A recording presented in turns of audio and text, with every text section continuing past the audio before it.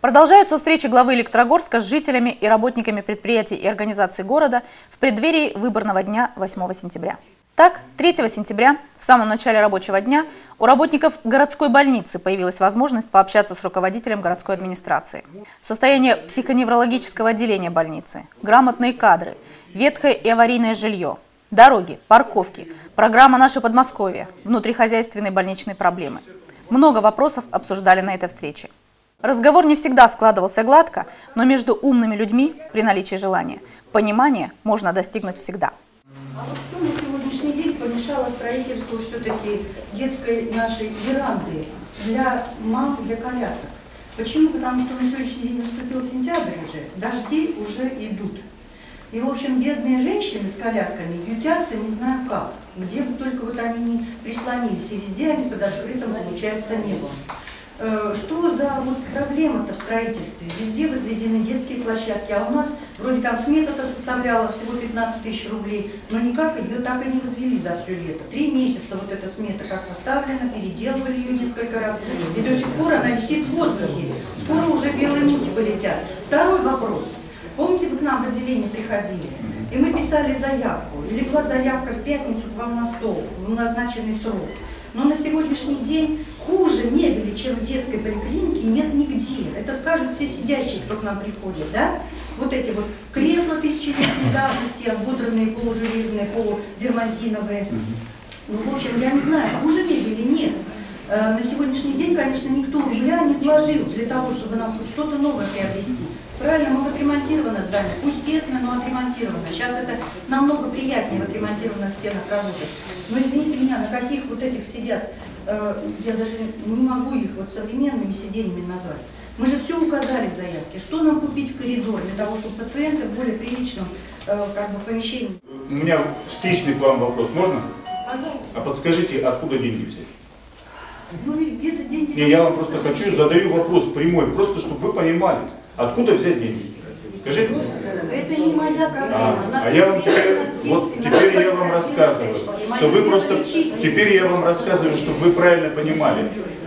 А, Еще раз, вот все, что делается на сегодняшний день, детские площадки, это делалось заранее, аккумулировались средства. Поэтому, вот вы сейчас просите, бюджет сформирован. И сейчас те проблемы, которые вы озвучивали, вот главный врач, вы как начальники, руководители значит, своих подразделений должны сейчас, чтобы мы заложили в бюджет следующего года. Те работы, которые необходимо сделать, тоже заложили в бюджет. Почему? Потому что попросить это просто. Найдите, а где их взять? Объясните, мы бюджетники. И поэтому благодаря, наверное, вот личным каким-то связям, усилиям каким-то, мы изыскиваем средства и затыкаем, называется, знаете, латание дыр. Латание дыр. А система пока не работает. Потому что, первое, мы приступили к работе, бюджет уже был сформирован на этот год.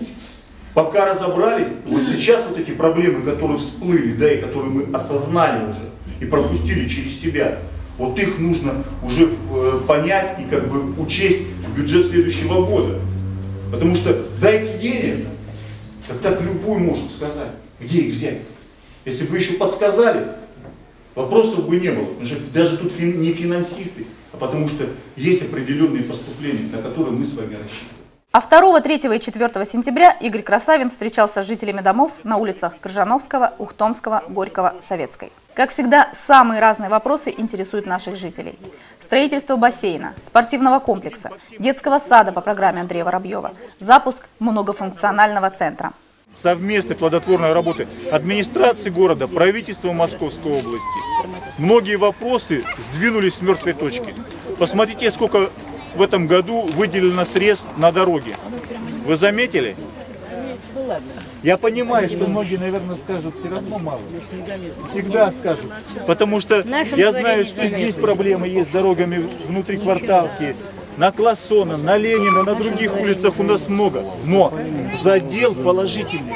Более 50 миллионов выделены, выделено. Это, конечно, огромные деньги.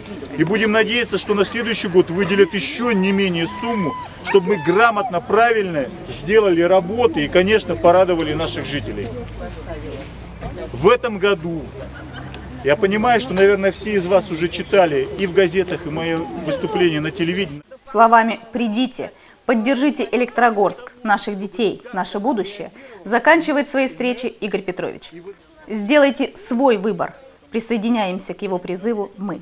В ближайшие дни встречи с главой города пройдут и на других улицах и предприятиях Электрогорска.